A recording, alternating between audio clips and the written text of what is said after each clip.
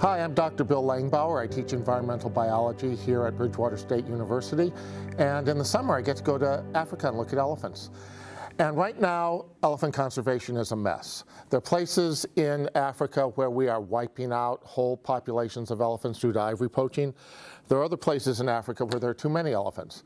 And I know I can hear you thinking, Dr. Bill, how can there possibly be too many elephants? Aren't they like, like puppies or, or ice cream? You just can't get enough? And yeah, but they also do damage to the environment.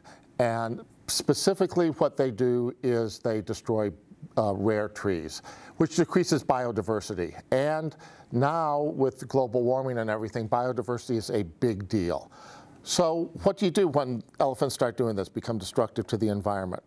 Well, what we do is one of three things. You can either kill them, you can give them birth control, or you can move them. And we've done all these things to various degrees of success, targeting family groups of elephants. And the last research that we just wrapped up, uh, I and my African colleagues looked at what happens when you take a group of elephants and you move them. And one of my colleagues followed elephants on foot every day for four years, which is a remarkable thing to do.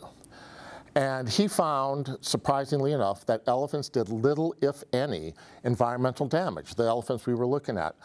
So what's going on? Well, it turns out that the culprits are really the bull elephants. Bull elephants live separately from the family groups. So they're the ones who are do, knocking over the trees and destroying them. And what our current research is, is we're trying to figure out what triggers this destruction of trees.